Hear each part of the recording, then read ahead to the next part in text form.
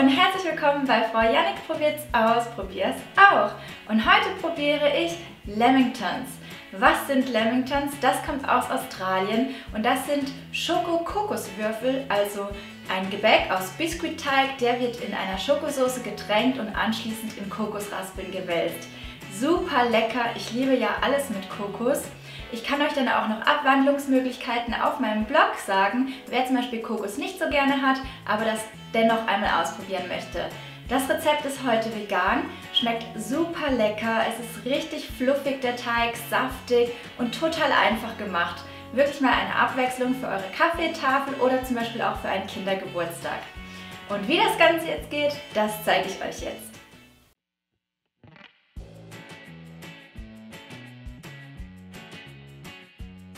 Als allererstes beginne ich mit den trockenen Zutaten und da gebe ich hier durch mein Sieb in meine Schüssel Dinkelmehl und zwar habe ich jetzt hier Dinkelmehl Typ 630.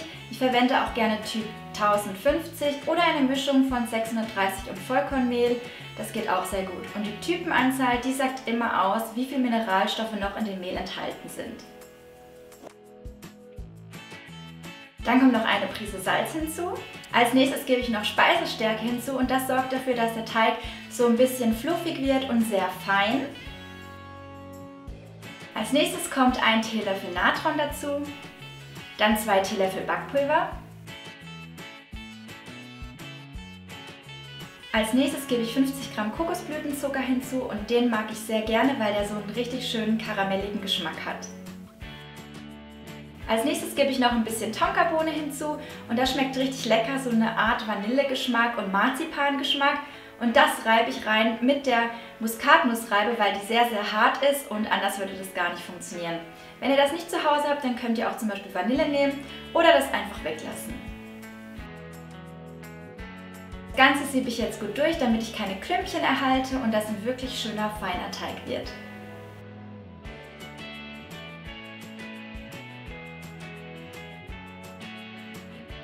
Groben Zuckerstücke könnt ihr wieder reinschmeißen, weil die lösen sich dann in der Flüssigkeit auf. Die trockenen Zutaten einmal gut zusammen vermischen und jetzt geht es weiter. Jetzt gebe ich zu meiner pflanzlichen Milch noch zwei Esslöffel Apfelessig hinzu.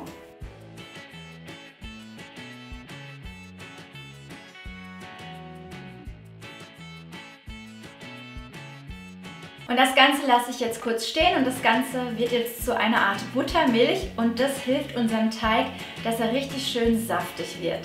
So, in der Zwischenzeit bereite ich schon mal meine Backform vor und ich habe hier eine ganz normale Brownie-Form genommen und werde die jetzt noch mit Backpapier einkleiden. Und dafür zerknülle ich das am besten immer. Und so passt es sich dann viel einfacher der Form an. So, jetzt kommen die flüssigen Zutaten zu den trockenen und ganz wichtig bei veganen Teigen ist immer ganz, ganz kurz mischen. Also es muss nicht super perfekt gemischt sein, wirklich auch nicht lange rühren, sonst kann es sein, dass der wieder zusammenfällt. Also wirklich ganz, ganz kurz und dann geht es sofort ab in den Backofen.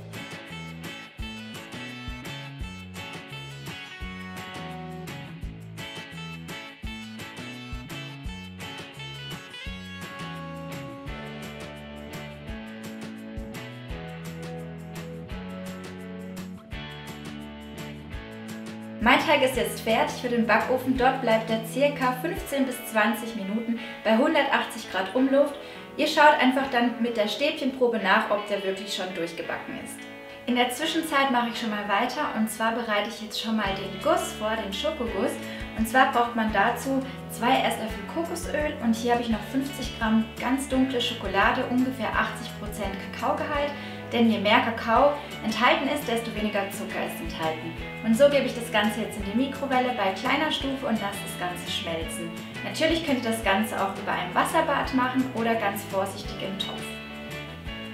Zu der geschmolzenen Masse gebe ich jetzt noch ein bisschen Süßungsmittel hinzu und ich gebe heute zwei Esslöffel Ahornsirup dazu.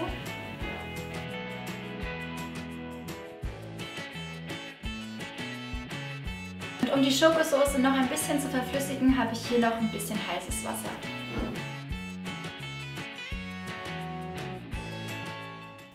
Nicht erschrecken am Anfang, wenn ihr das Wasser dazu gebt, dann wird das Ganze etwas dicklich werden. Dann gebt ihr einfach noch mehr Wasser hinzu, bis die Konsistenz wirklich ein bisschen flüssig, dickflüssig ist. So ist es dann perfekt.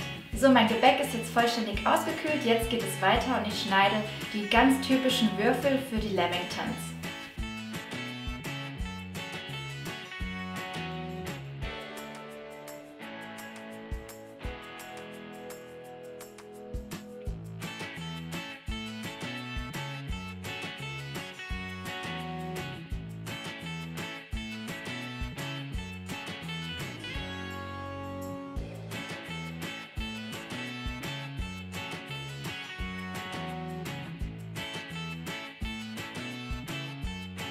So, weiter geht es mit den Würfeln und zwar müssen die jetzt in der Schokosauce getränkt werden von allen Seiten und anschließend werden sie dann in den Kokosraspeln gewälzt. Und wer keine Kokosraspeln gerne hat, der kann zum Beispiel auch gemahlene Mandeln oder gemahlene Haselnüsse verwenden.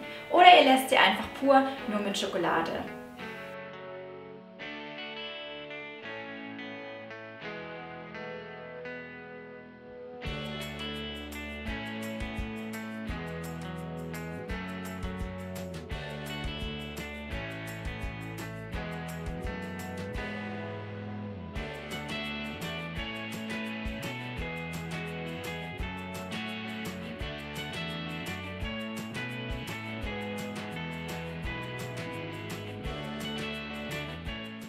Meine Lamingtons sind jetzt fertig und ich finde, die sehen einfach super aus, wenn man sie so hoch stapelt.